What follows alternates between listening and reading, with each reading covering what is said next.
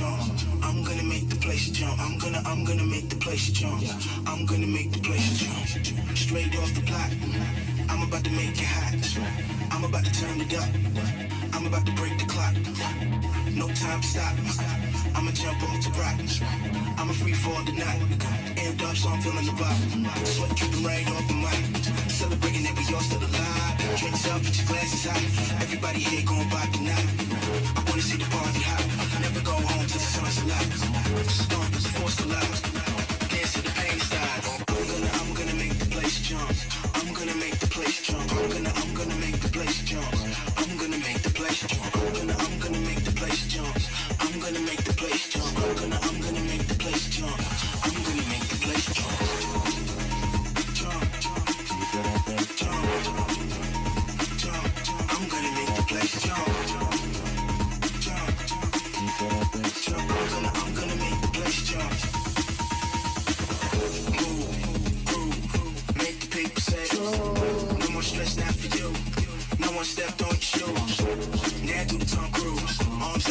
side like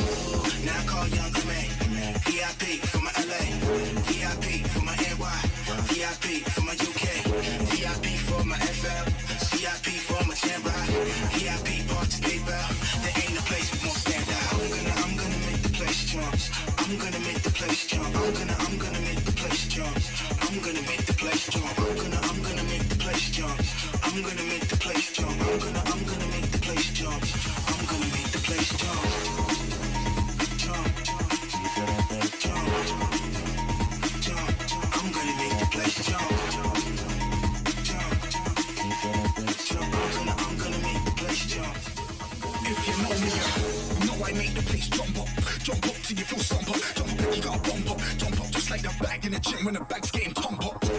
Jump up like you're on one. Jump up like someone's gone wrong. Jump up like this is the one song that you really love and somebody just put it undone. This is the one done. I'ma make everybody jump. Coming like a workout, feeling pumped. Nobody stop, not once. Attention, everybody jump. This is the one and again. I'ma make everybody jump. Coming like a workout, feeling pumped. Nobody stop, not once. Attention, everybody jump. This is the one.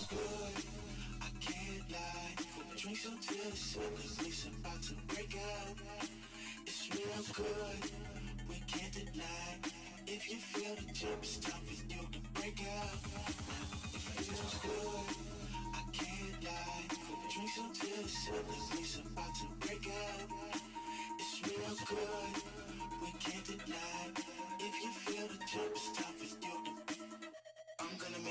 make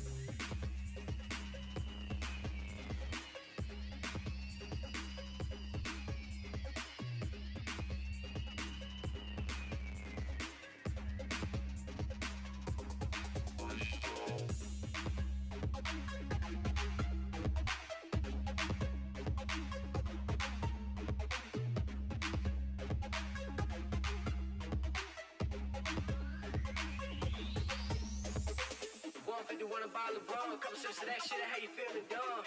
One fifty one a bottle of rum, couple sips of that shit, how you feeling dumb? One fifty one a bottle of rum, couple sips of that shit, how you feeling dumb? Dumb, dumb, dumb,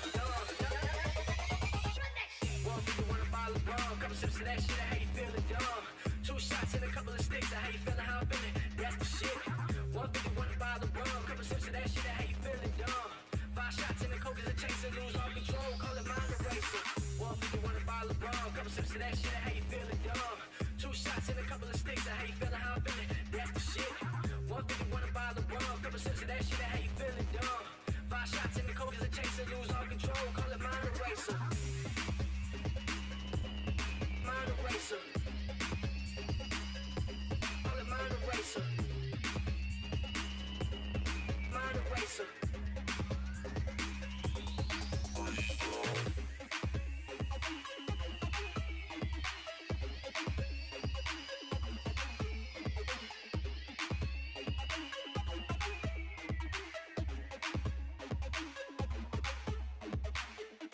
151 a bottle of rum, couple sips of that shit, how you feeling dumb? 151 a bottle of rum, couple sips of that shit, how you feeling dumb?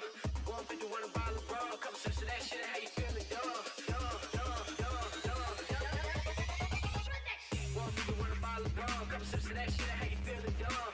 Two shots and a couple of sticks, how you feeling, how I'm feeling? That's the shit. 151 a bottle of rum, couple sips of that shit, how you feeling dumb? Five shots in the cold as a chaser, lose all control, call it mind eraser. 151 a bottle of rum, couple sips of that shit, how you feeling dumb?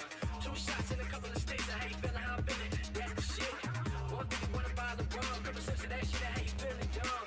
Five shots in the cold as a chaser, lose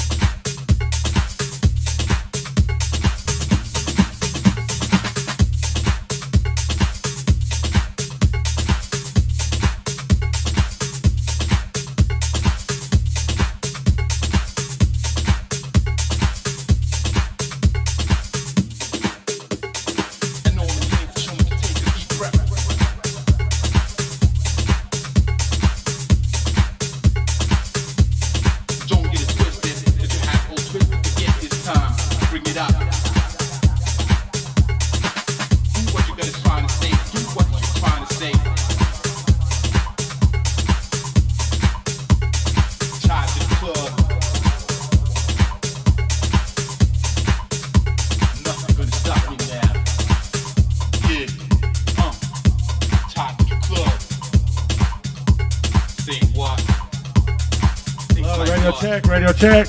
Yeah.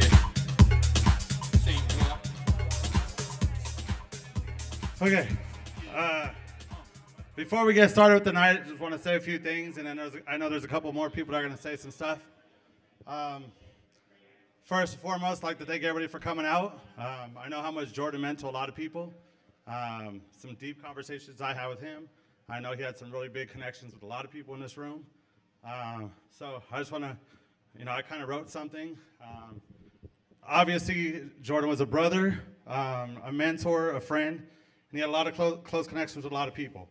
But one of the everlasting legacies that he'll be remembered for was his DJ career and how he helped change the landscape of the Las Vegas industry. As someone who spent almost every day with him for four years, I'd like to provide some insight on what he did and how he helped usher in a new era in Vegas. My earliest memories of Jordan was uh, taking trips to EDC, him and Kevin sweating up a storm right in front of Christopher Lawrence.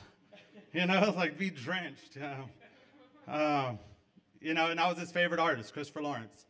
Um, even before he started DJing, you know, he really had a, uh, an ear for music. Oh, speaking, and, and Christopher Lawrence did show up. um, he built his name in the rave scene um, along with his best friend Kevin Sean. Uh, they were known as Sean and Stevens. Their house parties were legendary, and his sets were his garden, gardening and following. Around 2006, Jordan made the jump to the club scene and joined Empire Ballroom with me. It was there where he helped create a new, light, a new night called Local Love. The premise was giving local DJs a chance to play. Before this night, Vegas was a real cut, cutthroat game, um, where only a handful of DJs were able to play. You know, the Scotty Boys, Far Sheets. That was that was the game right there. Um, but through through this night, many local DJs you, you hear about today got their start at that that night. Jordan became the face of the night, where most DJs try to keep other DJs down to preserve their spot. Jordan was the opposite. He was always lending advice and taking people under his wing. After Empire closed, he was my right hand man at Vegas Alliance. At first, I would pitch him in every deal. Uh, but after they met him and heard him for the first time, I wouldn't even need to sell him anymore. With his infectious smile and nonstop energy, he won everyone over. Uh, Jordan was a, po- a politician without being a politician. He was, he was that likable. Quickly became the, the people's DJ. Every time he played, there was a spike in the numbers. His followings crossed over from the rave scene to the club scene, landing residencies with Godskitchen, Perfecto, Palms, Mark, and Marquee, playing Love Festival, Fabulous Festival. After he left Marquee, he wanted to do his own shows and provide a bigger platform for other artists. Mike Remedy, Split Breed, Nick Foley, DeMarco Cruz, Stevie Mack. Jordan would always talk to me about how much he, he had love for those guys. Um, he went on to Body English, where he was producing his own events. Despite all Jordan's success, Jordan was still that kid from Macon, Georgia. He missed his family. He wanted to move closer to his parents and decided to walk away from the industry. Over the years, every time I would start a project, I would call Jordan and ask if he wants to come back. And every time he would thank me, but turn it down. He was happy where he was. But he would always call me almost every week just to check on me. One thing is, we all know about Jordan, he valued his friendships. Our last conversation was one I will never forget. We were talking about how life is short. We were discussing some of the people that we have lost uh, the last couple years. Through Jordan, I have learned even more so how precious and delicate life can be. We are lucky to have Jordan in our lives, and if you look around the room, you can see the many lives he touched. I will never forget him, and I will not be the promoter I am today without Jordan next to me. I love you, Jordan, and uh, you know this one's for you.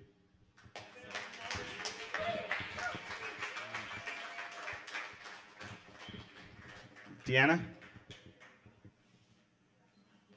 Love you, bro. Love you, bro. Love you, man. Sorry, I can't get my mask off. of course, my mask is caught on my earring. 2021. Here, hold that for a second. You're fine.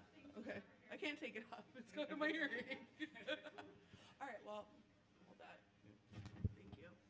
Uh, of course, this is embarrassing. And, and as while she's doing that, um, just to let you guys know what we have in store for tonight. Uh, Kenneth Thomas came all the way from Detroit to be here for this. He's gonna play.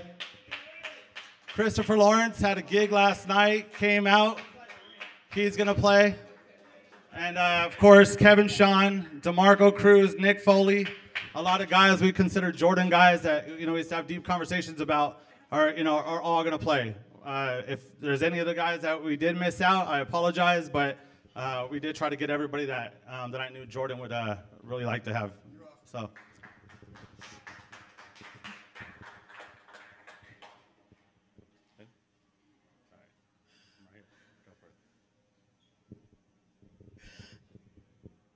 Sorry, guys. Um, as many of you know, my name's Deanna. I'm a writer, but this has been by far the hardest thing I've ever had to write in my life. Um, many of you may have seen the obituary online, and I helped his parents write the business part of it, of course, because when I was talking to them and they were at the funeral home getting everything planned, they were like, well, you know, okay, what do we say? Jordan was a house music DJ in Vegas, and I was like, no, I'm gonna stop you right there. Not house. we start with trance, and then we go into maybe some progressive, and then maybe some breaks. So I was like, can I just write that part? So um, you can see it on the back of the memorial cards we have over here. But um, I will say, I don't know if the funeral home typed it out again or copied and pasted, but I did not spell Paul van Dyk's name wrong. Y'all know I wouldn't do that. And uh, I also did not spell Carl Cox's name wrong, so that wasn't me. But anyway, just for the record. But um, I think what really broke me was when I saw that his parents put the obituary in the family section of who he is survived by. And I didn't know they were going to do this, and they put me in there as the love of his life. So I I think our friend Lindsay said it best was he was my person. And even though we were separated by miles, we were still writing our story. And we still had so many plans. And, you know, I hate to be cheesy with a quote. And I wrote down plenty of things I wanted to tell you guys, but, you know, not that Jordan and I were expressly major Beatles fans or anything, but y'all know the quote like, John Lennon, you know, life is what happens when you're busy making plans. So, if you have someone close to you and you haven't talked to them in a while, which wasn't us, we talk constantly every day. He had to check in on the cats because I was watching Baby Yoda the cat for him. Thank you, sweetheart. um, so I have Yoda. He's with me. He's okay. He gets along with my DJ Shadow the cat. So they're best cat. They're they're black cat best friends. um,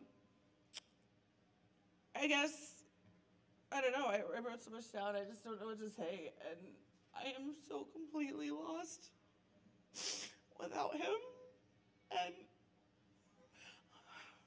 I just want you to know he loved all you guys so much and appreciated you. And we were very, very private people. I think it was because we worked in the industry together. and We didn't want the owners of Tao Group to know we were together. And like, here, sir, here's your drink tickets for the evening.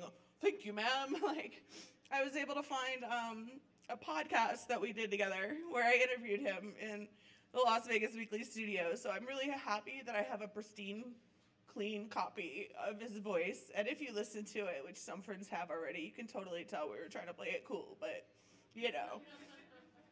I think I might have convinced my bosses for like a few months and then they figured it out.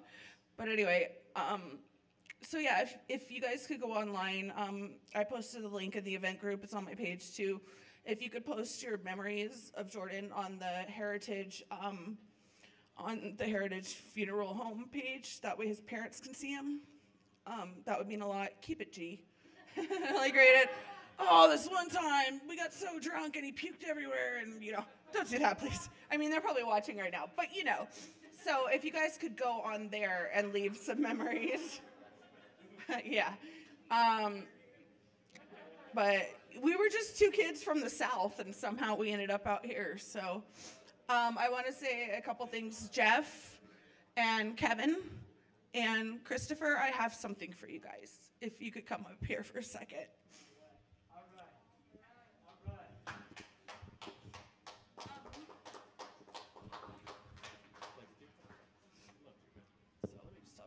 So I had these made for you guys because you are all so important to him. And um, at the funeral home, they took his fingerprints, and we all know his hands were his musical instrument. So I wanted, I had these lapel pins made for you guys, and um, they're his actual fingerprints.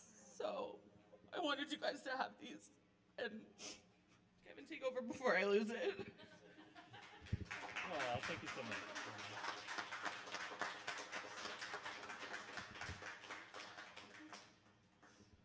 They're magnetic. I know I was like, what? Magnets? So, Oh, dang, I'm being knighted. yeah, I know, right? I just thought it was cool that there are his actual fingerprints. so Yeah, you might have to help me with this. I just, my hands are so shaky and I'm so sweaty. He's smiling down on us. Yeah. There we go.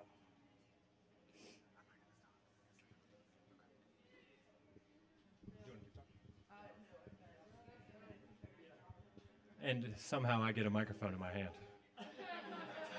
Hello, everybody. So sorry we're here like this. Um, yeah, the guy, Kevin Sean, that would be me. Kevin Henderson is my real name. Kevin Sean, aka Kid Protege.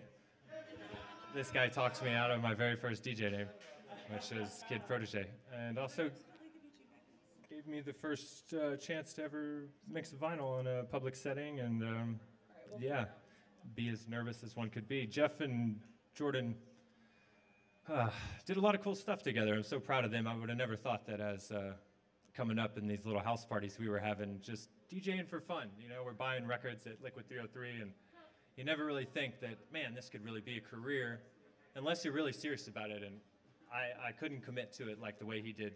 Um, I don't know why. I was scared. And Jordan just really grabbed that entire thing by the horns. And when we're driving to EDC to go watch Christopher Lawrence DJ, we're listening to George Acosta CDs, we're listening to all these trance CDs, Oakenfold CDs, and all these live sets from 1999, 1998. You know, the people that really laid the foundation for dance music what it is today. And this kid went and opened up for everybody, you know, and um, it's really not surprising because if he wanted to do something, he was so adamant that he was going to do it. You really couldn't tell him he's not going to do it. He's just had that type of personality, and I don't know.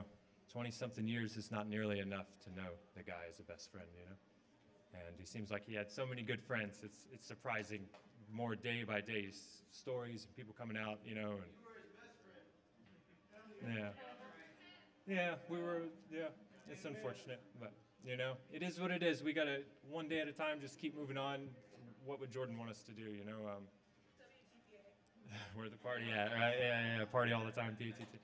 So, I don't know. Thank you all so much for coming out. We're gonna play some music here in a little bit, and we got some videos planned. And I don't know. A lot of people maybe haven't met Jordan's brother Jameson, and this is Jameson. I don't want to put him on the spot to give a speech, but.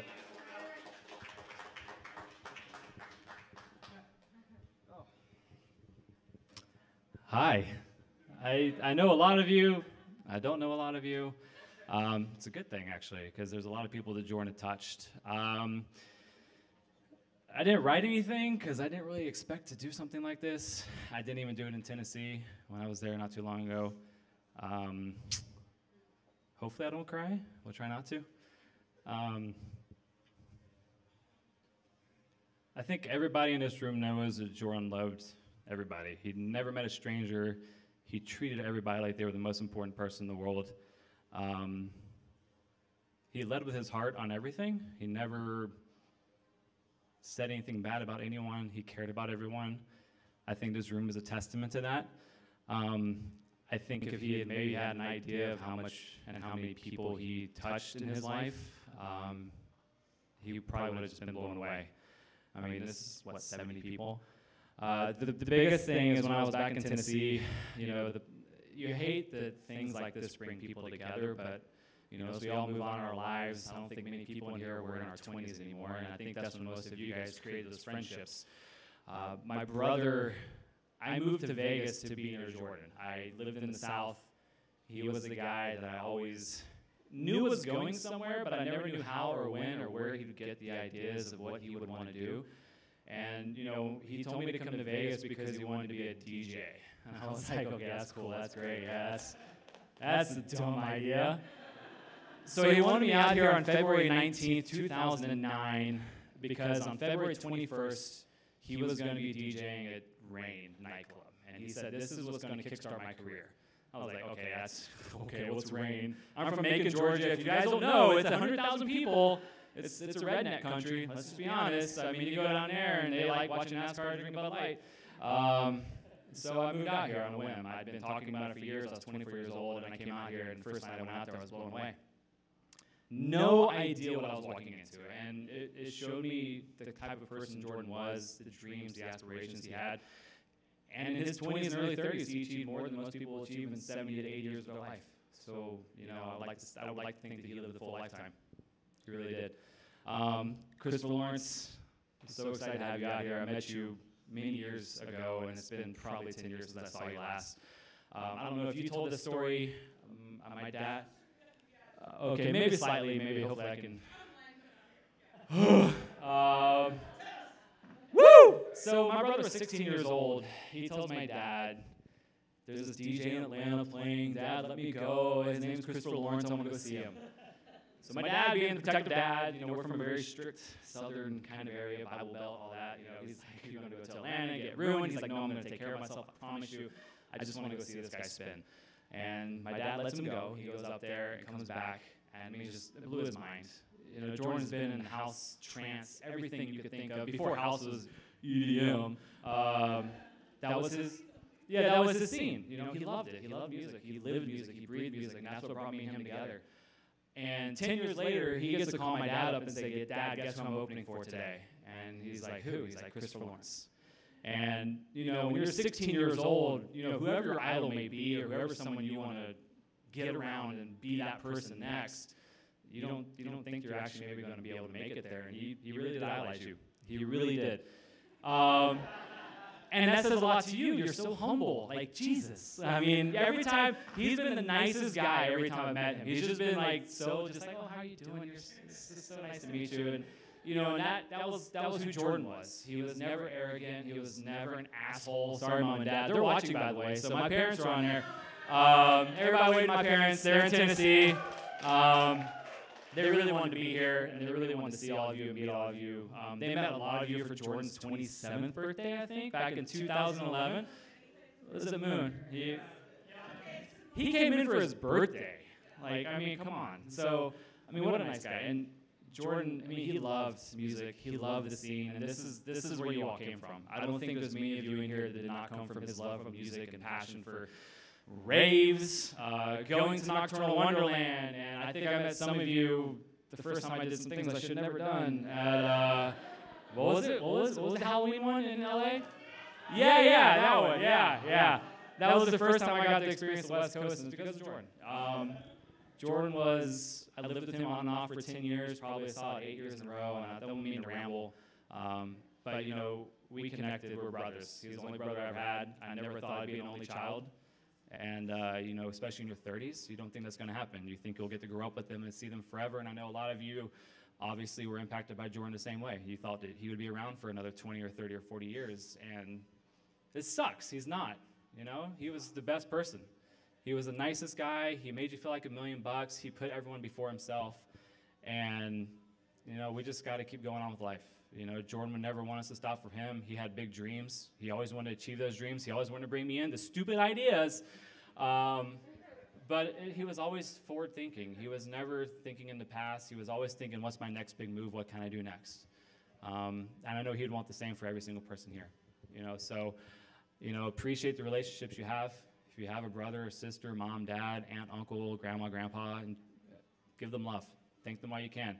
I think when things like this happen, you always think, what could I have done better? What could I have said? You know, could I have reached out to him two days before, three days before, whoever it may be? And, you know, life goes on, sadly, and we have to kind of accept what's happened and just move on. Um, you know, so we have to love each other and just enjoy each other's company and, you know, don't lose your relationships with your friends. That's the one thing Jordan was good at. I think every single person that I've talked to today, I said that I just talked to Jordan four days before. I talked to him a week ago. I talked to him like last Sunday. You know, he was so good about reaching out to people and staying in touch with people. Um, he appreciated relationships, you know, and he would want all of us to stay in touch with each other as much. And I can say a testament to so many of you I haven't seen in probably eight years. I mean, I haven't seen Chris. I saw you at Monster Massive in 2006, and I haven't seen you in 15 years, but you're my Facebook friend, so it's good to see you. Um, but really, I, I, really do thank you all so much for coming out and showing support for Jordan and the impact he's had on your life. My parents thank you.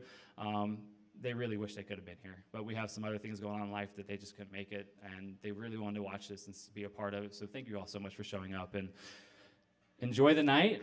Remember Jordan for the person he was, and um, have a drink for him whatever it may be that you do to idolize someone or remember them by, do it. And um, hopefully I can catch up with a lot of you more later. So I love you all. Have a good night.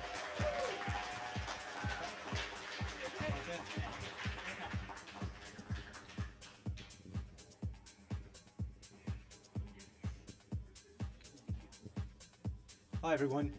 Um, I'm not real good at talking, so I'm going to make this real quick. I'm here for the same reason that you are. Jordan was extremely special. Um, he, I'm not real good about socializing, and I, I, avoid people as much as possible. And when I go into towns, I rarely go to dinners or do. I avoid promoters and other DJs and everything. But Jordan was the exception. I felt safe with Jordan. I felt comfortable with Jordan. It was like family. And it's really hard to explain, but I connected with him like rarely that I do with other people. And I also have discovered that my success in Las Vegas was due almost entirely to Jordan. Because as he as he became resident at each and every club, he would lobby to have me play. And I, and I started realizing every time I play, it's with you, Jordan.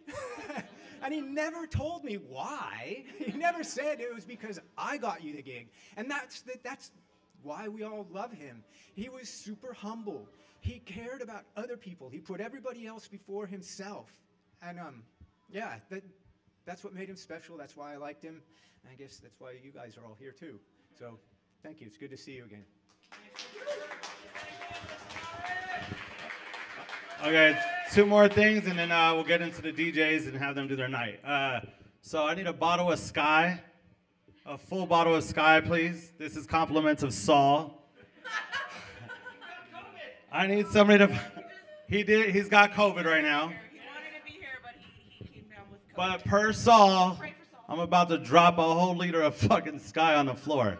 That was. Uh, sorry, uh, Jordan's parents, but uh, he wants us to pour it out for him. So we're uh, bartender Sean.